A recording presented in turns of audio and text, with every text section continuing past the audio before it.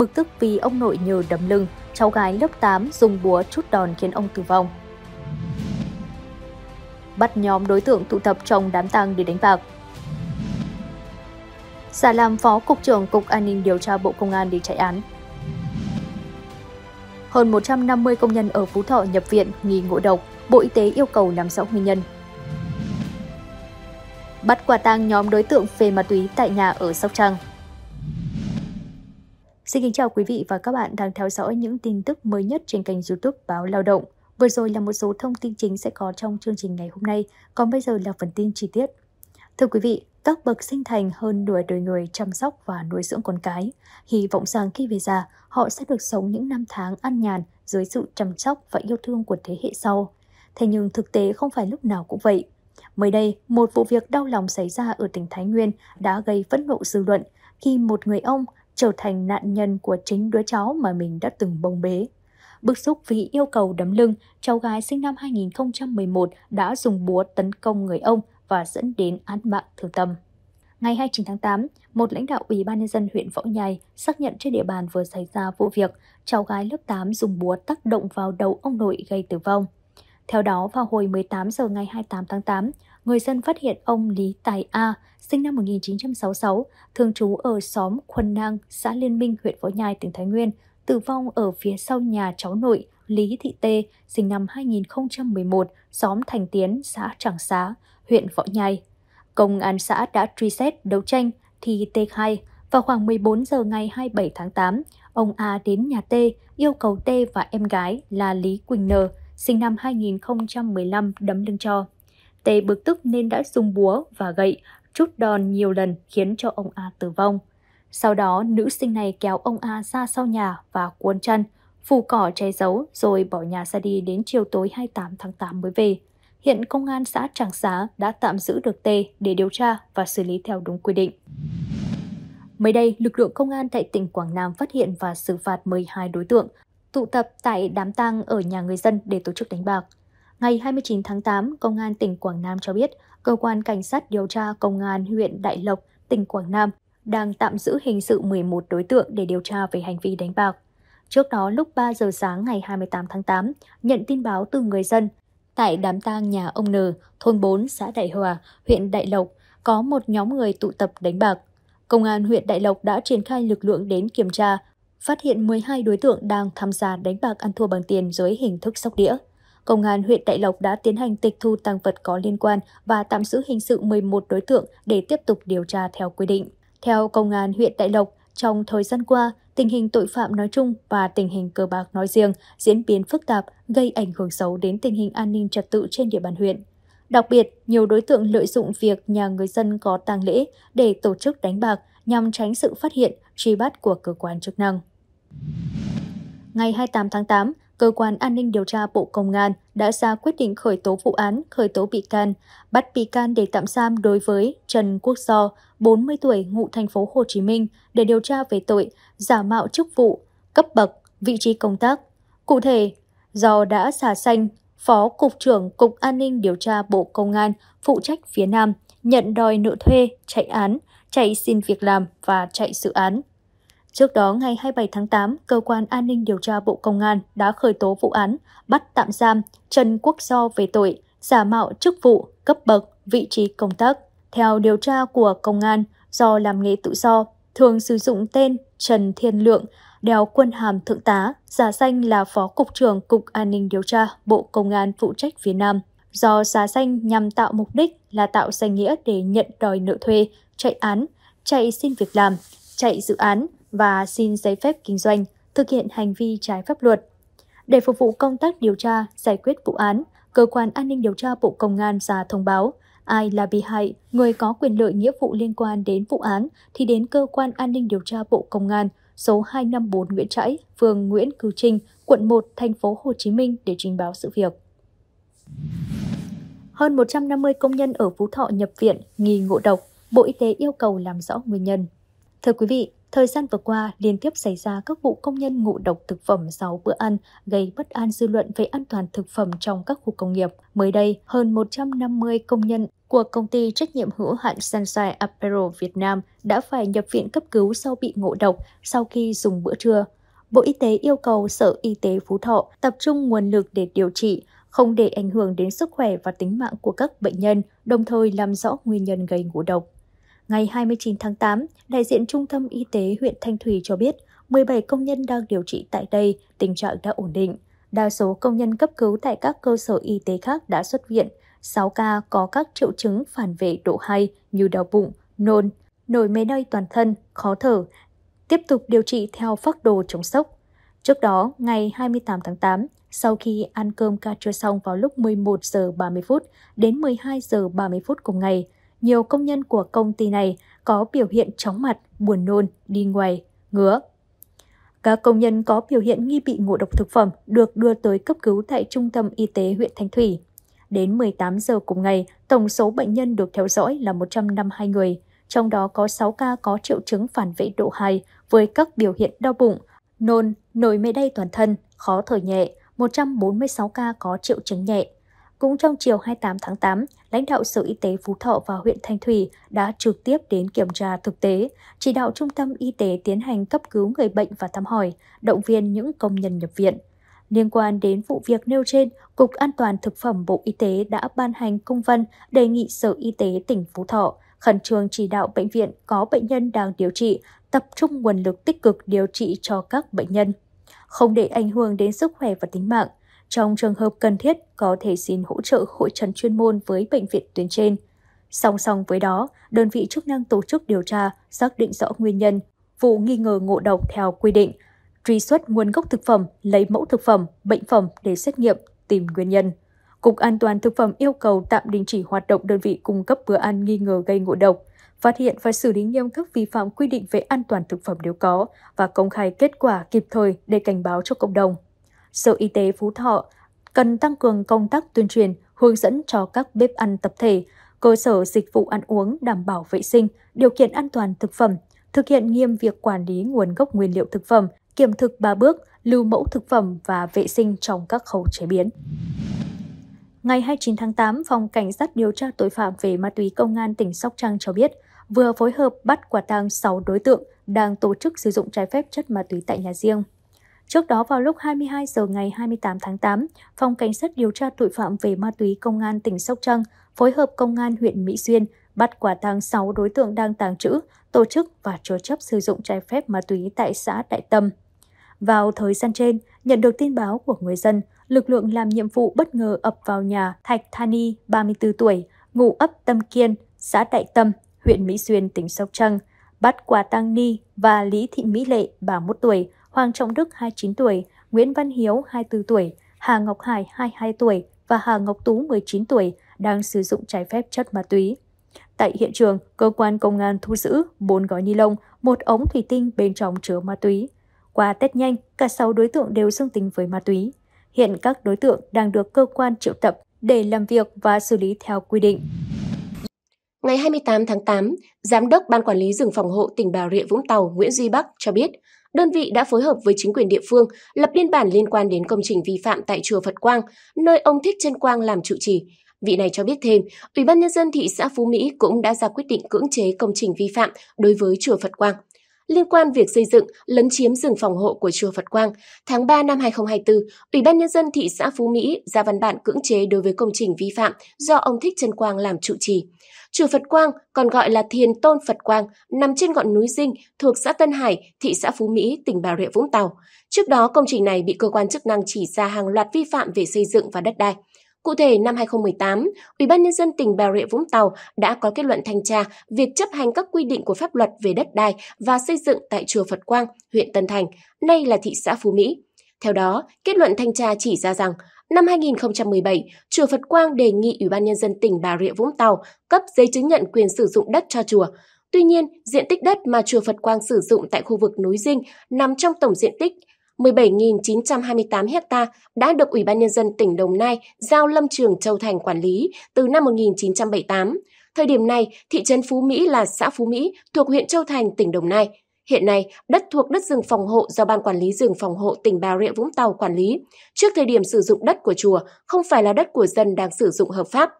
Theo kết luận thanh tra, trong tổng số 36 công trình chùa xây dựng trên đất, thì công trình tránh điện được Sở Xây dựng tỉnh Bà Rịa Vũng Tàu cấp giấy phép xây dựng ngày 20 tháng 9 năm 2001 với diện tích xây dựng sửa chữa là 228 m,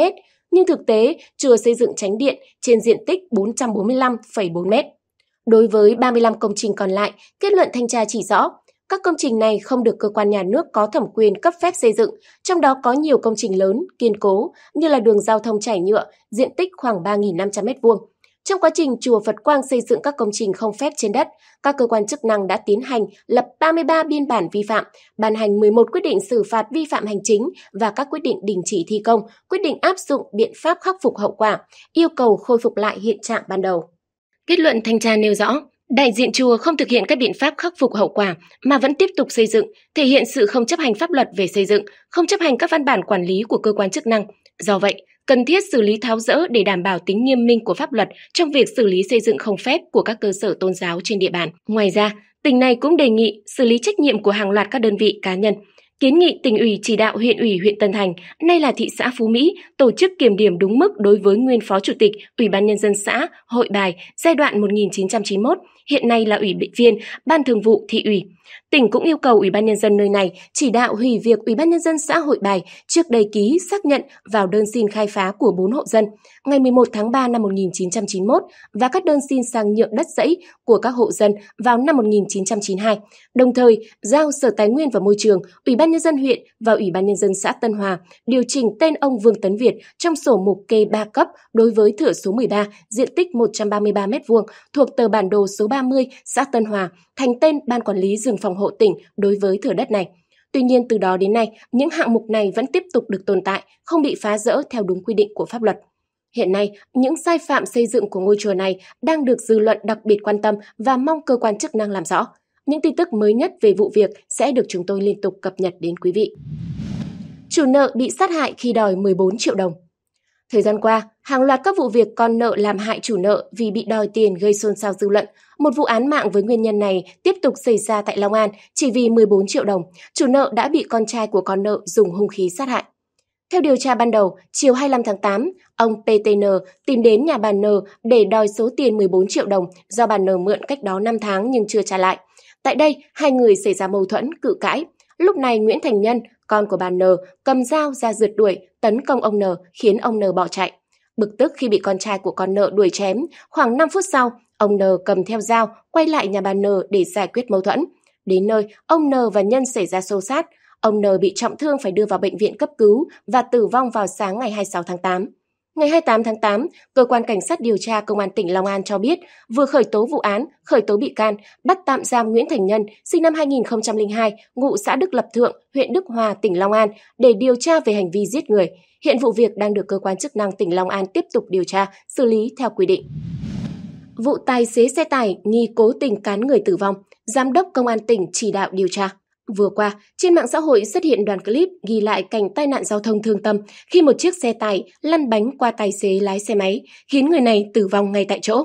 Đáng chú ý, sau khi xem đoạn clip, nhiều người bày tỏ sự nghi ngờ khi tài xế xe tải cố tình cán người tử vong. Nắm được thông tin sự việc, Công an tỉnh Đồng Nai và các đơn vị nghiệp vụ thu thập đầy đủ thông tin, tài liệu, chứng cứ, điều tra, củng cố về hành vi giết người của tài xế vụ va chạm giao thông xảy ra trên quốc lộ 51.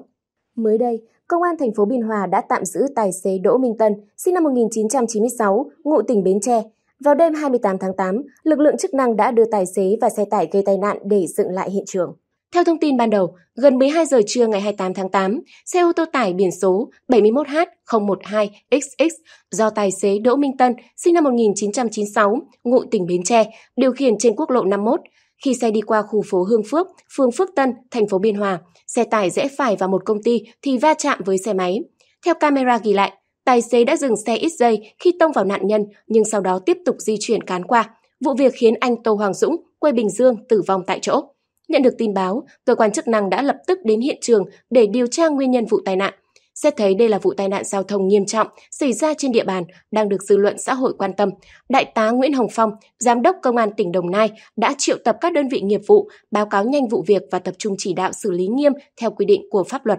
Cụ thể, Đại tá Nguyễn Hồng Phong đã chỉ đạo Đại tá Trần Anh Sơn, Phó Giám đốc Công an tỉnh, khẩn trương xuống hiện trường chỉ đạo các đơn vị nghiệp vụ cùng Công an thành phố Biên Hòa thu thập đầy đủ thông tin, tài liệu, chứng cứ điều tra vụ va chạm giao thông xảy ra trên quốc lộ 51 khiến một thanh niên tử vong. Hiện vụ tai nạn thương tâm này đang tiếp tục được điều tra và làm rõ.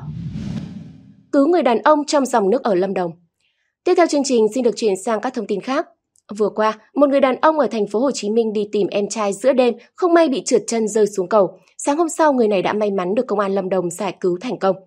Ngày 28 tháng 8, công an huyện Đức Trọng, Lâm Đồng cho biết vừa cứu sống một người đàn ông bị nước cuốn, chới với dưới dòng nước xiết. Trước đó ngày 27 tháng 8, Công an thị trấn Liên Nghĩa, huyện Đức Trọng nhận tin báo từ người dân ở khu vực cầu Cao Thái, tổ 19, có một người đàn ông đang chới với dưới dòng nước chảy xiết. Nhận được tin báo, lập tức các lực lượng đã đến hiện trường tổ chức cứu hộ. Sau gần một giờ, lực lượng chức năng đã giải cứu thành công, đưa người này lên bờ. Theo thông tin ban đầu, nạn nhân tên Lê Văn Khiêm, 40 tuổi. Cách đây hơn một tuần, người này lên thị trấn Liên Nghĩa để tìm em trai bỏ nhà đi. Đến khoảng 22 giờ ngày 27 tháng 8, ông Khiêm đến đoạn cầu Cao Thái thì bị trượt ngã rơi xuống cầu. Thời điểm đó nước chảy xiết sau mưa lớn. Rất may ông Khiêm chỉ bị sạt vào bờ cỏ và đến sáng ngày 28 tháng 8 được công an cứu sống. May mắn người đàn ông đã được cứu sống sau khi rơi xuống nước. Việc đi lại chơi đùa ở khu vực sông nước là vô cùng nguy hiểm. Mỗi người dân cần thật cẩn thận khi đi qua các khu vực này, đặc biệt là trẻ nhỏ. Bắt 7 thanh niên cầm dao đi chặt biển số trong đêm.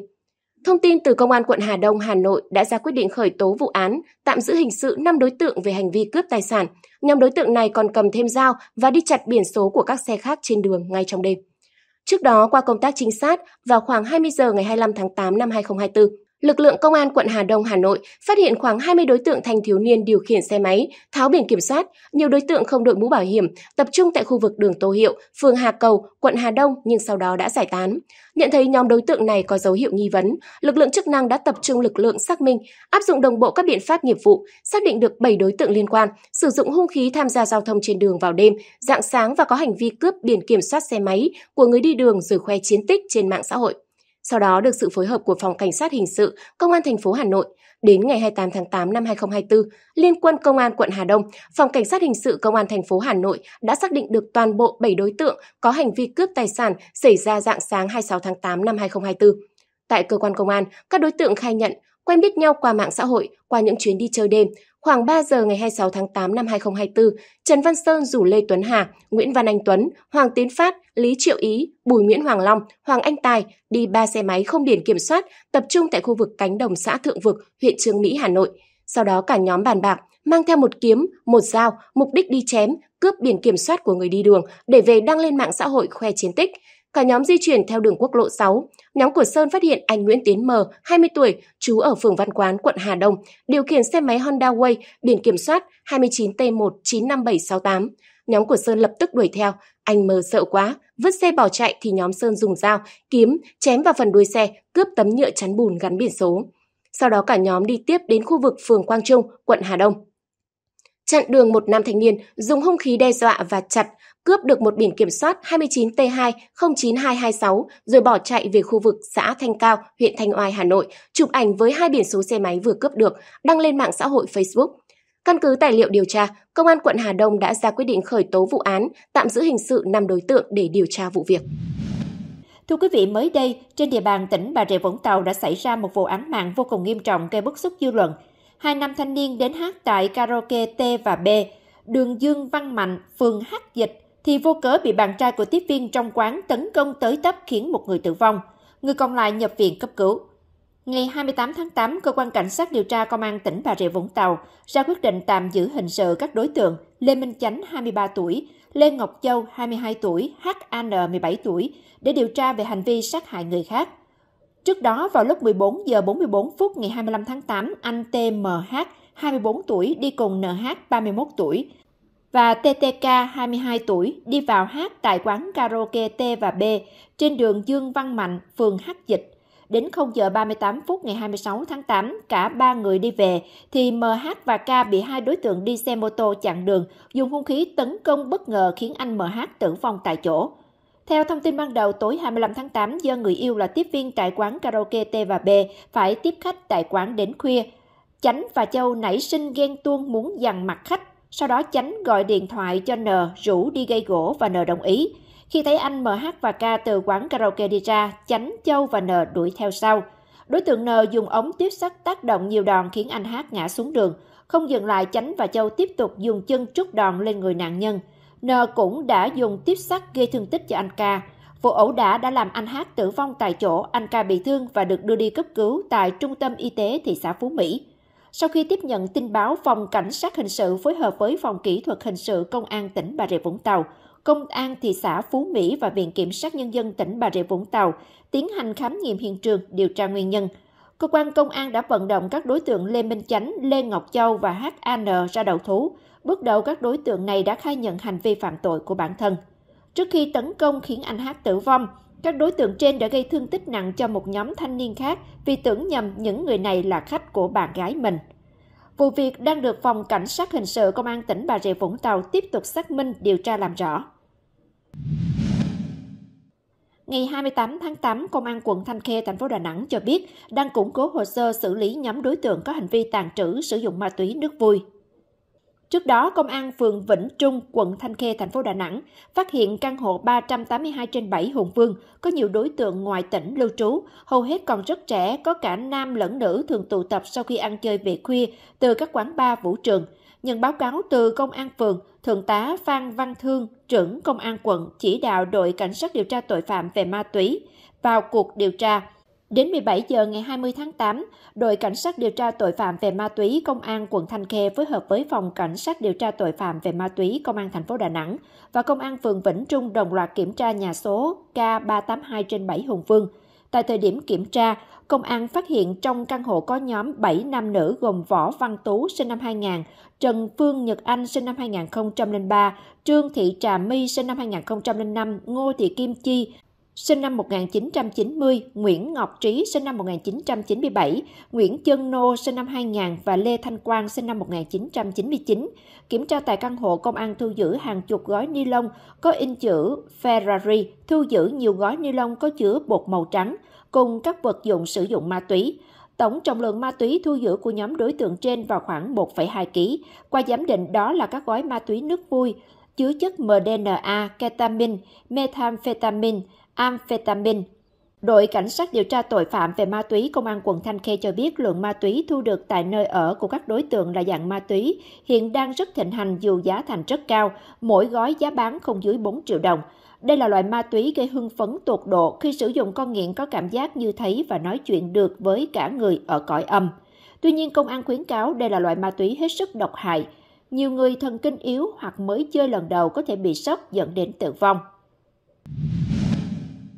Thưa quý vị, vừa qua trên mạng xã hội xuất hiện một đoạn clip ghi lại toàn cảnh một vụ tai nạn giao thông nghiêm trọng trên quốc lộ 51 tỉnh Đồng Nai, khiến nhiều người phẫn nộ. Trong clip, một chiếc xe tải va chạm với xe máy cùng chiều đang rẽ vào làn đường đoạn cây xăng Vina khiến người và xe máy bị cuốn vào gầm xe. Sau cú va chạm, người đàn ông đi xe máy nằm dưới gầm xe tải nên tài xế xe tải dừng lại khoảng 5 giây. Nhưng không phanh lại mà tiếp tục điều khiển xe chạy tiếp khiến nạn nhân tử vong. Ngay sau đó, cơ quan chức năng đã vào cuộc điều tra vụ tai nạn.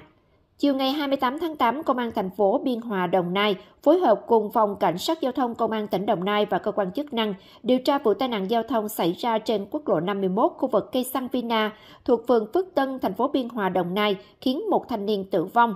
Theo thông tin ban đầu, vào sáng cùng ngày, một chiếc xe tải chạy trên quốc lộ 51 theo hướng từ huyện Long Thành về thành phố Biên Hòa. Thời điểm này trời đang đổ mưa. Khi chiếc xe tải vừa chạy qua cổng trụ sở Ủy ban Nhân dân phường Phước Tân, thì tài xế cho xe quẹo trái vào khu vực cây xăng Vina nên xảy ra va chạm với một người đàn ông đi xe máy cùng chiều. Cú va chạm khiến người đàn ông và xe máy nằm dưới gầm xe tải. Lúc này phát hiện có va chạm giao thông nên tài xế xe tải dừng xe lại khoảng 5 giây đồng hồ, rồi tiếp tục di chuyển để chạy xe vào phía trong khu vực cây xăng rồi mới dừng lại. Nạn nhân tử vong tại chỗ.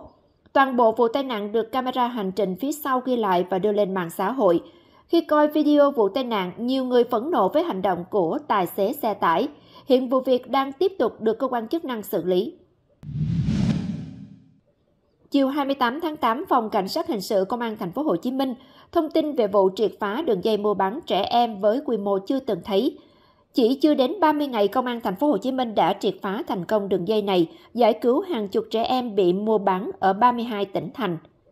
Theo đó, Công an Thành phố Hồ Chí Minh cho biết vừa triệt phá thành công đường dây mua bán trẻ sơ sinh, làm giả giấy tờ tài liệu của cơ quan tổ chức. Theo công an, đây là đường dây mua bán trẻ sơ sinh quy mô lớn dưới hình thức cho nhận con nuôi xảy ra ở nhiều tỉnh thành do các đối tượng Nguyễn Thị Ánh Đào, 42 tuổi quê Nghệ An, Hoàng Thị Nhung 30 tuổi quê Đồng Nai, Đỗ Thị Thúy Ngân 30 tuổi quê Hà Nội và Cao Thị Thu Phương 41 tuổi quê Hải Dương cầm đầu. Đến nay, đơn vị đã bắt tạm giam khởi tố 16 đối tượng về hành vi mua bán trẻ em và làm giả con dấu tài liệu của cơ quan tổ chức. Trước đó, Công an thành phố Hồ Chí Minh đã nhận được tin báo tố giác tội phạm tại các hội nhóm trên không gian mạng có liên quan đến hoạt động cho nhận con nuôi và phát hiện nhiều thông tin tài liệu nghi vấn thực hiện hoạt động mua bán trẻ sơ sinh. Giám đốc Công an thành phố Hồ Chí Minh, Trung tướng Lê Hồng Nam đã chỉ đạo xác lập chuyên án trinh sát để tập trung đấu tranh làm rõ.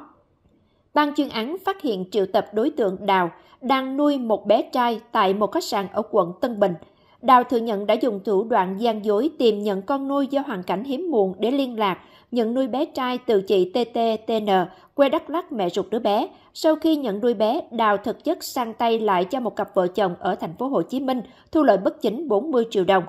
Công an xác định nhóm đối tượng do Đào cầm đầu mua trẻ sơ sinh với giá từ 10 đến 23 triệu đồng một bé, rồi bán lại với giá từ 35 đến 75 triệu đồng một bé. Quá trình mua bán trót lọt, nhóm đối tượng còn làm giả giấy tờ liên quan đến nhân thân của các đứa trẻ. Lần theo thông tin từ các giấy chứng sinh giả, Công an thành phố Hồ Chí Minh đã thành lập 9 tổ công tác khẩn trương xác minh 84 trường hợp trẻ sơ sinh có dấu hiệu bị mua bán tại 32 tỉnh thành phố trong cả nước. Qua đó phát hiện giải cứu kịp thời các trường hợp trẻ em đã bị mua bán tiến hành bàn giao, phối hợp cấp ủy chính quyền địa phương, thực hiện việc bảo vệ chăm sóc sức khỏe cho các nạn nhân. Hiện phòng cảnh sát hình sự công an thành phố Hồ Chí Minh đang phối hợp cùng các đơn vị liên quan mở rộng điều tra vụ án. Mới đây, Viện Kiểm sát Nhân dân thành phố Hội An, tỉnh Quảng Nam vừa phê chuẩn quyết định khởi tố bị can và tham gia tống đạt quyết định khởi tố bị can, bắt bị can để tạm giam đối với Lương Văn Thuấn về tội tham ô tài sản. Lương Văn Thuấn là viên chức đang công tác tại Trung tâm nuôi dưỡng điều dưỡng người có công tỉnh Quảng Nam. Ngày 27 tháng 8, tại Trung tâm nuôi dưỡng điều dưỡng người có công tỉnh Quảng Nam, Viện Kiểm sát Nhân dân thành phố Hội An phối hợp với Cơ quan Cảnh sát điều tra Công an thành phố Hội An, Quảng Nam tiến hành tống đạt quyết định khởi tố bị can, lệnh bắt bị can để tạm giam và tiến hành khám xét nơi làm việc chỗ ở đối với bị can Lương Văn Thuấn, sinh năm 1977. Qua điều tra xác định Lương Văn Thuấn được lãnh đạo trung tâm giao nhiệm vụ quản lý tài sản trang thiết bị tại trung tâm. Lợi dụng nhiệm vụ được giao từ ngày 30 tháng 3 năm 2024 đến ngày 29 tháng 4 năm 2024, Lương Văn Thuấn đã lấy 5 chiếc TV mới mua được trang bị tại các phòng chăm sóc điều dưỡng người có công, đem bán lấy tiền sử dụng cá nhân. Để che giấu hành vi phạm tội của mình, Thuấn lấy 3 chiếc TV cũ ở kho chứa tài sản trung tâm và mua thêm 2 chiếc TV cũ từ bên ngoài để lắp vào vị trí 5 chiếc TV đã lấy. Tổng giá trị tài sản chiếm đoạt theo định giá là hơn 42 triệu đồng. Căn cứ vào các tài liệu chứng cứ thu thập được của cơ quan cảnh sát điều tra công an thành phố Hội An đã ra quyết định khởi tố vụ án, khởi tố bị can đối với Lương Văn Thuấn về tội tham ô tài sản. Sau khi tống đạt các quyết định lệnh bắt bị can để tạm giam, cơ quan cảnh sát điều tra Công an thành phố Hội An và Viện Kiểm sát Nhân dân thành phố Hội An đã tiến hành khám xét nơi làm việc và chỗ ở của Lương Văn Thuấn. Quá trình khám xét đã thu giữ các tài liệu đồ vật liên quan đến vụ án. Hiện vụ án đang được cơ quan tiến hành tố tụng thành phố Hội An điều tra làm rõ theo quy định. Vừa qua, lãnh đạo Ủy ban Nhân dân tỉnh Sóc Trăng đã phát động thi đua cao điểm 15 ngày đêm để đẩy nhanh tiến độ thi công dự án thành phần 4 cao tốc Châu Đốc Cần Thơ Sóc Trăng giai đoạn 1. Qua đó, chủ đầu tư dự án đề nghị các nhà thầu thi công tiếp tục tập kết nhân sự, thiết bị vật tư để đẩy nhanh tiến độ thực hiện, tổ chức thi công 3K 4 kiếp để bù tiến độ bị chậm trong thời gian qua. Cả anh em cán bộ kỹ thuật với ờ, công nhân là đang là 92 người ăn ở tại công trình luôn mà để cho kiểm soát được cái cái tiến độ công việc này ra. Thời gian là thứ nhất là 3 ca bốn kiếp là một với thứ hai là em có tăng cường thêm hai tổ đội thi công. Chưa đến ờ, hết ờ, 15 ngày đêm thì đã hoàn thành được trên 100% giá trị sản lượng đăng ký rồi ạ.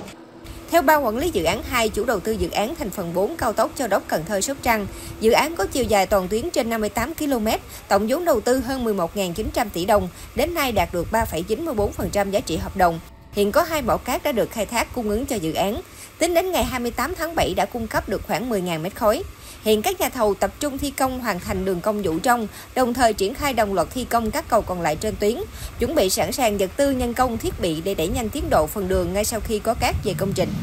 Mặc dù còn rất nhiều khó khăn, nhưng các thầy cô của trường phổ thông dân tộc bản trú tiểu học Trường Sơn vẫn đang cố gắng hàng ngày để giúp các em đến lớp đúng với thời gian. Chuẩn bị bước vào năm học mới, từ đầu tháng 8, thầy cô tại điểm trường Cổ Tràng, trường phổ thông dân tộc bán trú tiểu học Trường Sơn, huyện Quảng Ninh, tỉnh Quảng Bình đã chuẩn bị từ cơ sở vật chất đến động viên tinh thần học sinh đến với lớp học. À, ừ, giáo viên đã là đến à, tận nhà động viên những em học sinh là ừ, đến trường đầy đủ và thứ hai nữa là đó là giáo viên đã là chuẩn bị báo bọc sách vở và cấp phát đầy đủ là dụng cụ học tập cũng như là đồ dùng để cho học sinh là đến trường chuẩn bị tâm thế sẵn sàng đến trường. Trường phổ thông dân tộc bán trú tiểu học Trường Sơn đã bắt đầu công tác chuẩn bị gần một tháng qua. Những công việc chủ yếu các thầy cô thực hiện là dọn dẹp lớp học, đến từng hộ gia đình động viên các em đến lớp sau kỳ nghỉ dài. Trường phổ thông dân tộc bán trú tiểu học Trường Sơn đã chủ động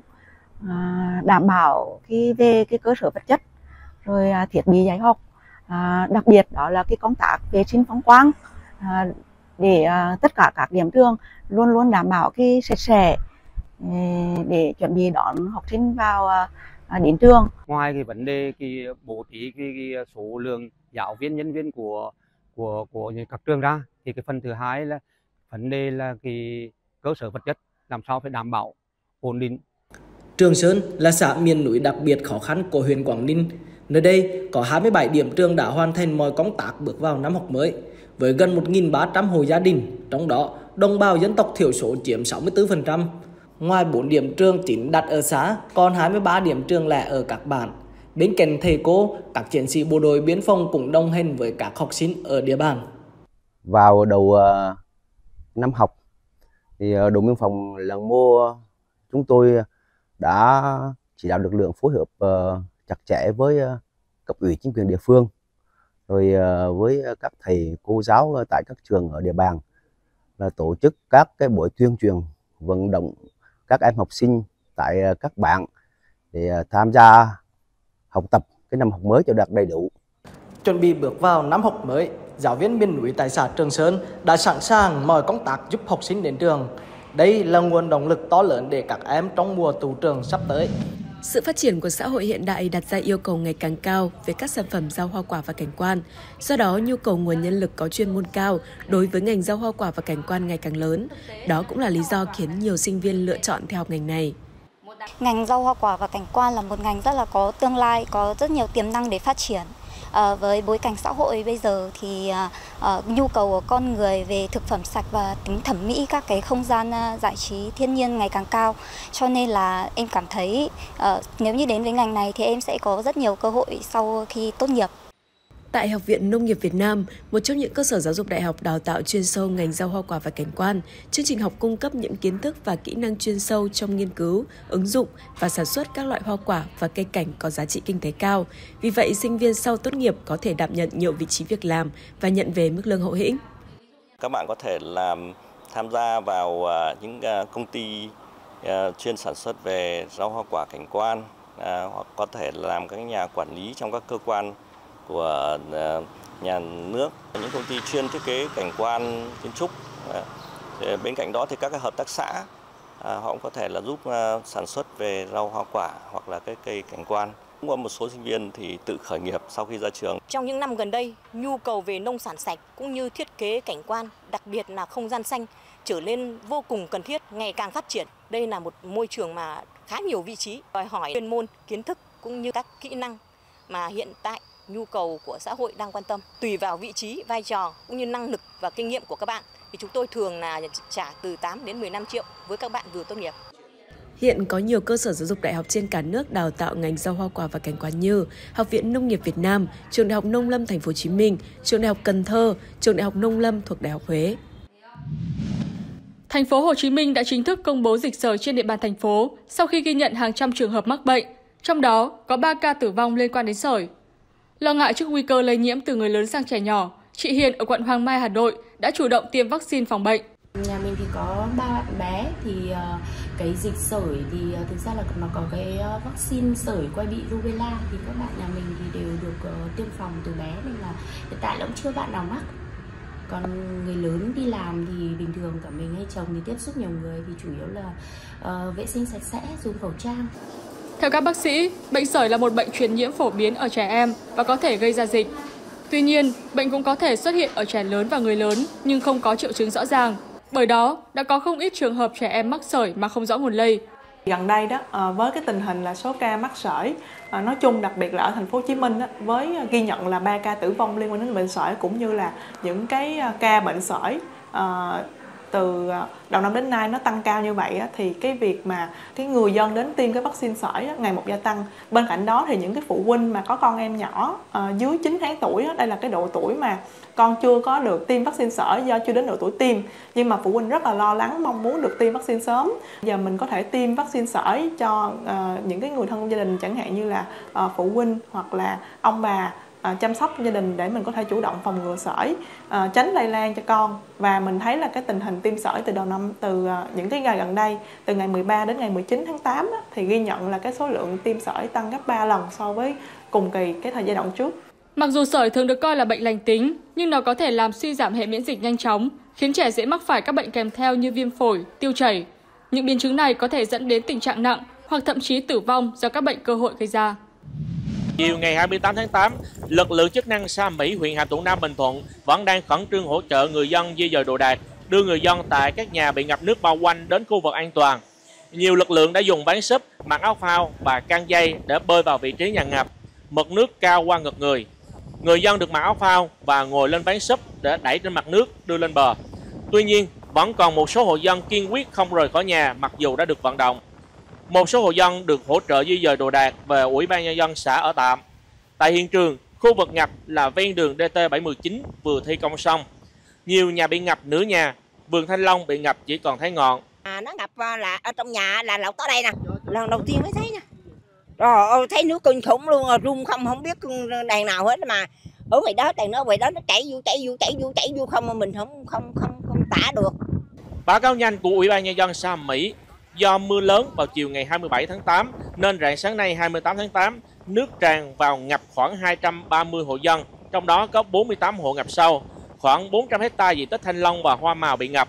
Còn phía đơn vị công trình thủy lợi tỉnh cho biết, đến thời điểm này, đơn vị chưa tiến hành xả lũ hồ đu đủ. Thời tiết tại địa phương đang có mưa kéo dài và người dân lo lắng nước ngập sẽ tiếp tục dâng cao.